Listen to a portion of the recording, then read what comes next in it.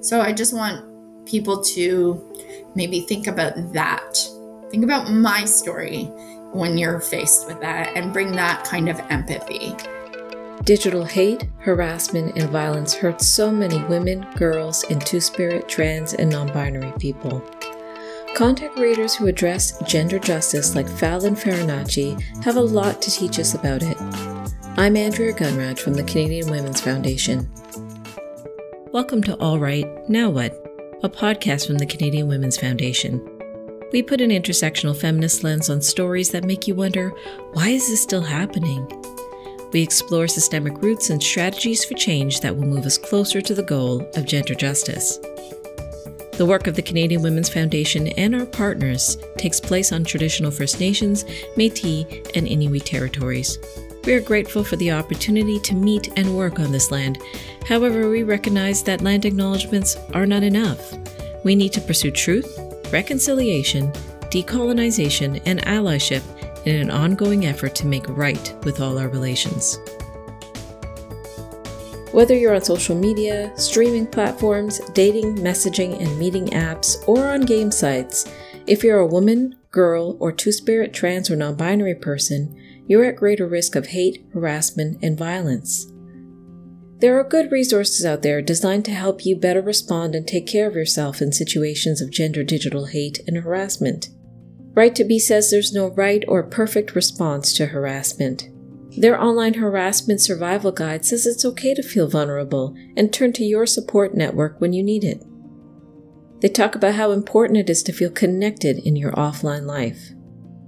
I often think about research that shows how people who harass and hate don't often do it from a place of power. They often do it from a place of feeling powerless. It's no excuse for hurting others, and our perceptions of our own power can get easily distorted. But what keeps us grounded? Helps us respond in better ways? Caring community. If we all had more access to caring community, connections that uphold human rights and dignity and positively challenge us to do the same, experiences of hate, harassment, and abuse would not be so commonplace.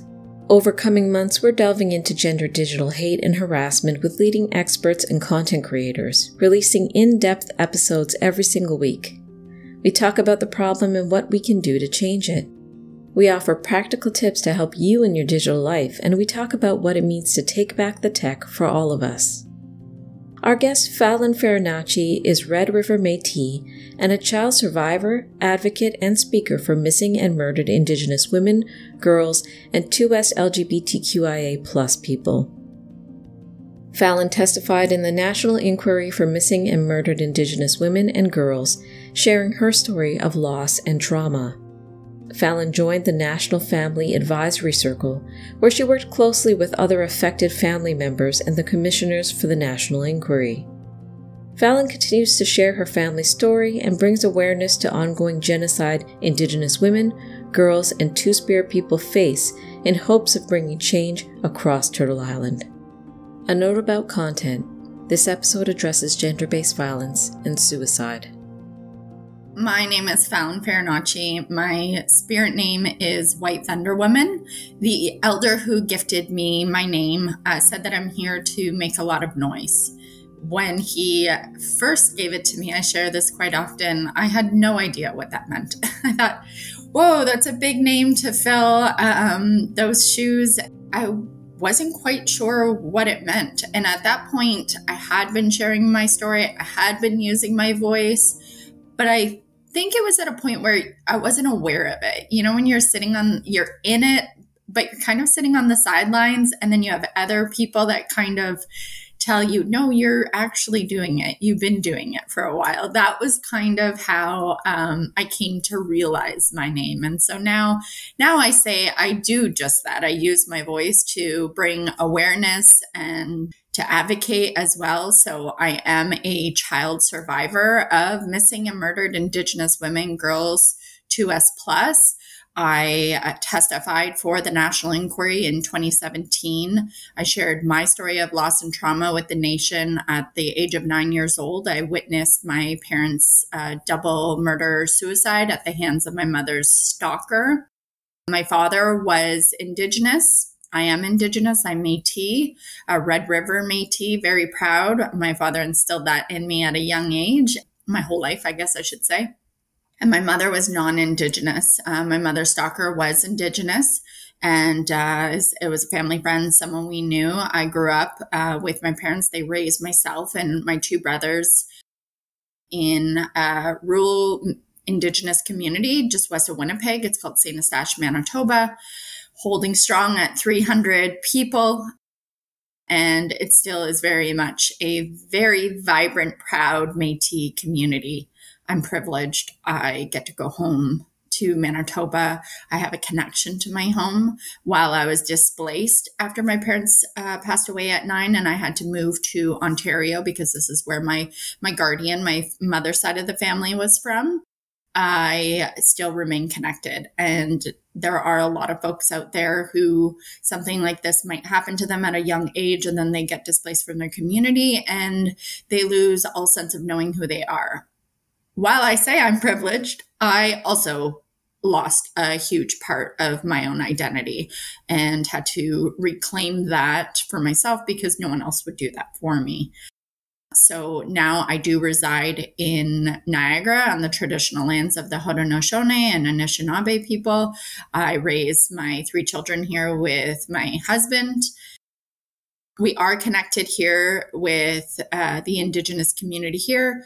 However, when it's not your community there's there's still a difference right like we i still bring my children home we just went home actually this past uh, winter to manitoba so my could my kids could experience a red river um, metis family day or louis riel day there so i do what i can here to have them involved and to be connected but ultimately you know, like my own journey, I'm realizing that's also something that they're going to have to navigate and figure out on their own. And, and I have to support them in whatever reconnection uh, or reclaiming that they want to do beyond what you know of course they come along with me to to gatherings and traditional things so that's that's a little bit about me i'm a speaker advocate and from speaking and sharing my story we went to uh, social media with that. I had this idea in 2021 that I would start a fundraiser.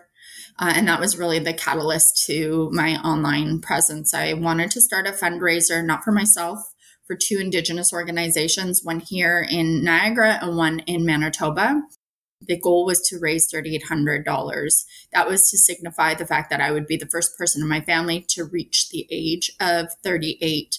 Um, both my parents died before they were 38. And then, unfortunately, years later, my older brother committed suicide as well uh, from the lack of mental health support. I wanted to shift that survivor's guilt that I would be living with, knowing that I would be living with at that year specifically. And so I started this fundraiser and it, in the most beautiful way, blew up. I say this about social media. It is a beautiful place, but obviously it is a dark place for the awareness that it brought and spread for the fundraiser and for MMIW G2S plus. I'm I'm grateful for for the power of social media for for those two things. And uh, to date, we've raised over a hundred thousand dollars. I continue to try to show up in community where I can and um, to bring awareness and just use my voice. We've been speaking to several feminist content creators who get so much hate and harassment in their work online. How do you deal with it in your public work? How do you respond? It's not an easy space to navigate by any means. You can definitely get pulled into those those negative comments and at the end of the day I try to meet those comments or those private messages not at their level because that for me would be what would pull me away from doing this work if I had to, or if I chose to answer, and that's fine. That's there are some people that that is exactly how they want to answer, and by all means, sometimes sometimes you have to meet them where they're at because it's just you know where you're also at in that moment. Um, and so i think a lot of times people have to remember that if you ever see someone of influence with social media and they're and they're reacting and you think oh that just doesn't seem like them they would maybe normally come at them at that person with logic or you know statistics you have to remember this is a hard space to navigate and we have no idea what that person is going through. They might have said that morning to themselves like i've said many a times i'm throwing my hands up in the air i can't do this anymore this is emotionally taking a toll on me and then you're met with that kind of comment right? So uh, you have to remember that but for the most part i try to just use my voice to educate them if I feel as though it's not going to go anywhere, that they really aren't willing to answer or to hear my answer, I will I will just leave it at that. A lot of times you just have to I know a lot of creators do this, they block and delete and they have to leave that for their own um, peace of mind. I, I think that works.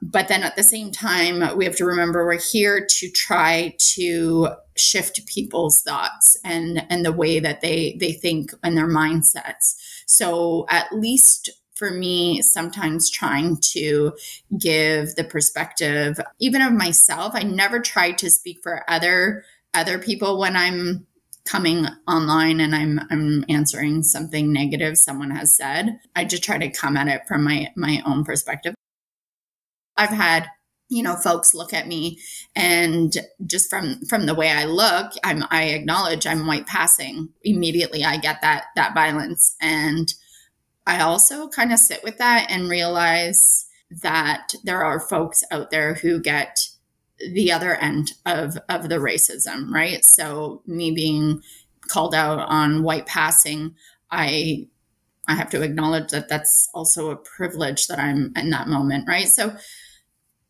it's hard, but sitting with those comments and um, also coming at it from a point of view of where is that person coming from? What what are they living with? Why would they say this? I guess at the end of the day, trying to have understanding. And that doesn't mean that it doesn't hurt by any means, right? And that it's something you can roll off your shoulders. But I do think that we would go a long way in life in this world if we just stop for a second and not react immediately. Do I think it's okay? And I'm not saying that by any means. That is my reaction and how I answer it is to keep my own peace of mind. Um, that's not to say that I'm uplifting someone by saying that, by deleting it or blocking or, you know, not coming at them with like a very harsh answer, which is the truth, right? Coming at them. I still come at them with the truth, but I'm doing it in a way that's protecting my own peace, which I think ultimately is the most important thing someone can do online. I know we look at content creators and think they're so strong and have thick skin to deal with all of this. But strength can be a myth and even a trap, and it takes a lot to be strong. Yeah, I think a part of that is also ensuring if I'm going to be strong, have a strong voice, doesn't mean, first and foremost, that I'm strong all the time.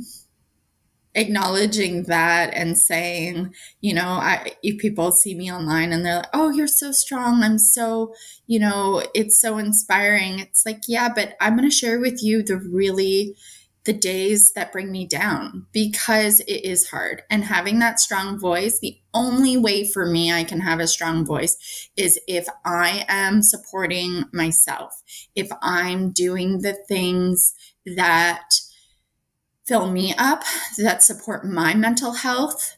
Because when I'm not supporting my mental health and I'm not doing the things, and I'll talk about what the things are in a moment, then I know right away you know, at the end of the fundraiser, I, I use this as an example. It was like, oh, you must have felt so great. You must have felt no, no survivor's guilt because you raised X amount of dollars. That, no, that's not how it works. That, that teetered off. And then I was still left to sit with those emotions. And I thought, this is a very dark place. And I shared that online with people because I want them to see that. I think it's important. You have to be open. You know, it's, we have these platforms. And if I'm not being honest, if I'm always saying I'm like up, up, up, up, up, that's, I mean, that's not realistic. If there is someone out there that can do advocacy and this line of work and just always be on, great for you. But I don't believe that that's true. I reflected. I, I, I actually, you know, flipped the flipped the lens and looked at myself and I thought, okay, what are the things that you're not doing right now? And at the time it was I wasn't drumming, I wasn't going out to community events. I had started to kind of pull back a little. I thought, okay, no, I need to do the things that are that pulled me along that that uplifted me. I shouldn't say pulled that uplifted me so that i could do that work and be surrounded by community and friends. And i'll be honest yesterday i was thinking okay you got to get back to those things. It summer was great but you weren't like doing all the community things. You went to ceremony a couple times but you weren't doing all of the things. And that doesn't work you know that that doesn't make you a strong person. You can hear it in people's voices i think sometimes when it's like oh they're so strong and then you're like hmm there's something in there. What is that? So i know and it's not easy you know someone's going to hear this and be like oh i wish i could realize. I'm i'm in the thick of it when i realize that i need to be doing those things and how do i pull out of it? You can't always right? So you just have to it's it's a new muscle that i'm constantly learning to use. What I'm hearing is that being embedded in community is essential to your well being when you're using your voice in digital spaces for me, for instance, right, being within the Indigenous community, while I'm in that, I will find people who have, who use ceremony, um, drumming, you know, like traditional ways to, to help their, their, themselves along this journey. And then in that, I'll be having those conversations and we all love to network. I was saying this yesterday. We all love to network, like just naturally when we're in these groups of of people that you know maybe it's your line of work that you do um, or if it's if you're not working within advocacy and this is something that you're doing on the side we just naturally end up meeting people that or introducing each other to people that can really help uplift and support. You can't do this alone yes, I'm using my voice, but nothing about what I'm doing is alone. It is being with community. So, so finding those, those people, those organizations, you know, maybe you're not in advocacy advocacy work right now already, but you're wanting to do some sort of work along that, find an organization and see what kind of events they have coming up okay, to be completely honest, the Canadian Women's Foundation, I get the emails. From that, I find community in the words, in the writing, right? And I'm finding out about maybe things that are happening or uh, projects that are going on. It helps support you and your mental health, your capacity of way of thinking, because you're not alone. And for someone that like a mother, a caregiver who maybe can't get out to these things, but it is a passion and it's something that they they really want to be involved in, but they can't actually physically go and be involved. These are great ways to still be a part of a community. Your perspective of getting grounded in community is so refreshing. When we face any form of abuse, harassment, and hatred, online or otherwise, it makes us feel alone. It's designed to pull us apart and isolate us. Building community and shared experience can be a tool to protect us. Mm, when I was asked to testify, uh, or uh, it was brought up, sorry, that I could testify for the inquiry, I journeyed along the entire inquiry. And then afterwards, as a part of the National Family Advisory Circle, feeling imposter syndrome as to why I was there. My father was Indigenous. This was, we were talking about MMIW G2S, so we're talking about women and gender diverse folks. Why was I there? My mom was non Indigenous, so, so I didn't quite understand. It wasn't until the closing ceremonies that I uh, grabbed my husband's leg and I and I whispered to him. We are literally, quite literally, uh, presenting the nation with the final report, and I said, "I get it." And he said, "You get what?" I said, "I'm the girl. I was never supposed to be here. I'm the girl." And when I tell people this, they're like, "But what do you mean? Like it was your story. You lived it. You know, you're you were the the girl that was displaced from the community. You lived all of this." But people have to remember it is working. It's done in a way to isolate you and make you feel that way on purpose in, in a unfortunately perfect way. A lot of folks don't even realize it, that they are living it, that there is an outside of it. I didn't. I, I just thought that was the life I was handed and I was completely alone and cool. That's what how you're going to live your life. So I can't imagine the amount of of folks that go through violence and live in danger and abuse all the time without the knowing of it. So it is important that we talk and that we that we share these things and that we have these communities because you know as as much as it, it matters for uh, racialized folks that um, we have representation matters. Representation matters also for the day to day of what people are enduring and that they can see that other folks maybe lived it and that they've come out of it. What do you think needs to change to end digital hate harassment and abuse? How do we go about challenging it how do we fight against this? Um, well, first of all, I, I, wish there was no fight that in 2023, this was not a conversation that was being had. The amount of times I actually want to throw my hands up in the air, when, really, if you think about the amount of times we've heard over since, say, 2020, really, well, it's 2020. I can't believe we're still living through this. It's 2021. You know, like, how long are we going to be saying this for? Yes, obviously policies and at the larger levels within these social media platforms, that that's where these these changes need to come. There has to stop being this availability for the other side of those community people to come together and to feel safe in what they are saying because that's ultimately what is happening. They feel safe and comfortable uh, in these online spaces that they can say these things. Just as much as we have community that gathers together for beautiful, vibrant, traditional things, it makes me very aware that there are ways for these folks to come together in other ways and to share their, I'm sorry, I'm just going to say disgusting views for me, I was I was taught this a long time ago uh, from an elder that said that change happens at the kitchen table. And I thought that was so beautiful. It's especially beautiful because I, I'm, sure this is in, in many indigenous cultures.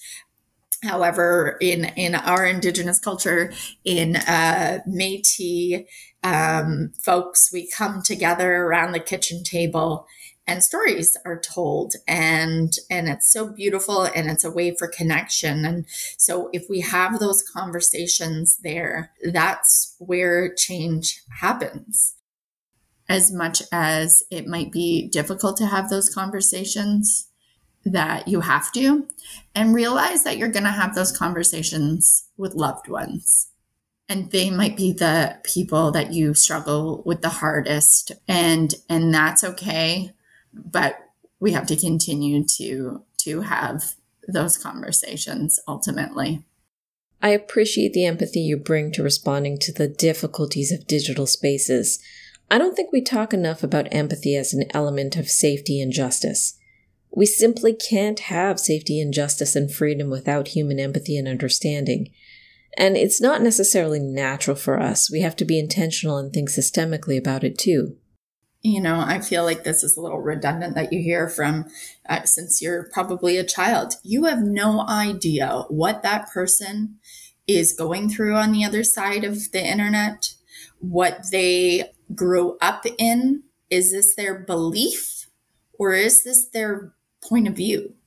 Those are two very different things in my mind.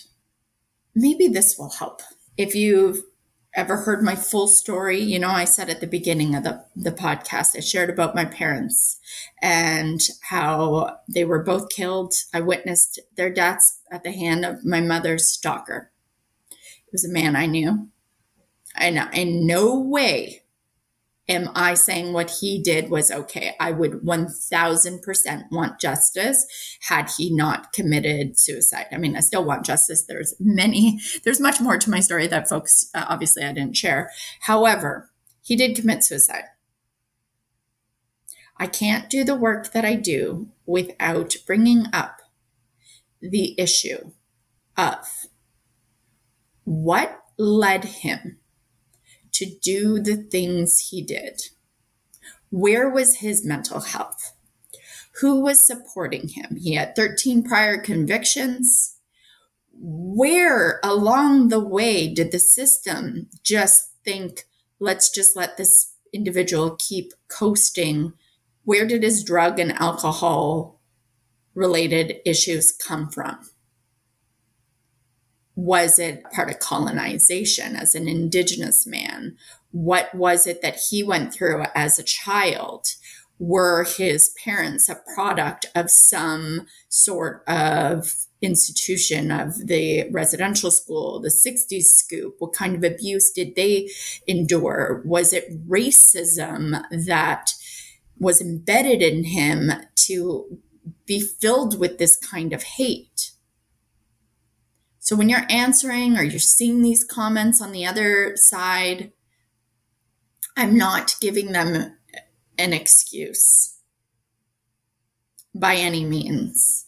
But you can't be on the other side. I cannot be here saying the things I say without bringing issue to the fact that he himself would have went through the same thing that I went through the fact that the RCMP fell back asleep and didn't come to our home for six hours to rescue us in an Indigenous community.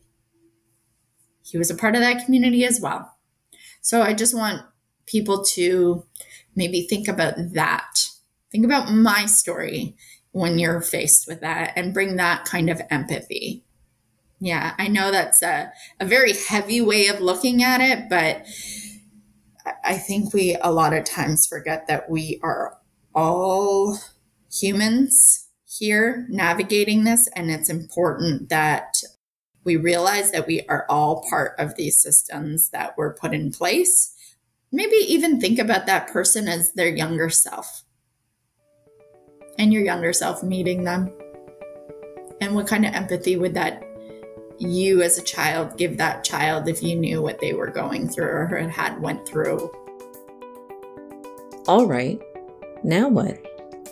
Check out Fallon Farinacci on Instagram, TikTok, and Facebook at Fallon Farinacci and visit her website, fallonfarinacci.com. Get the facts on gender digital hate, harassment, and abuse by visiting our fact page on CanadianWomen.org. While you're there, read about our new Feminist Creator Prize to uplift feminist digital creators advocating for gender justice, safety, and freedom from harm. Did this episode help you? Did you learn anything new? We want to know. Please visit this episode's show notes to fill out our brief listener survey. You'll be entered to win a special prize pack. This series of podcast episodes has been made possible in part by the Government of Canada.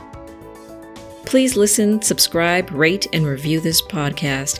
If you appreciate this content, please consider becoming a monthly donor to the Canadian Women's Foundation. People like you will make the goal of gender justice a reality. Visit CanadianWomen.org to give today, and thank you for your tireless support.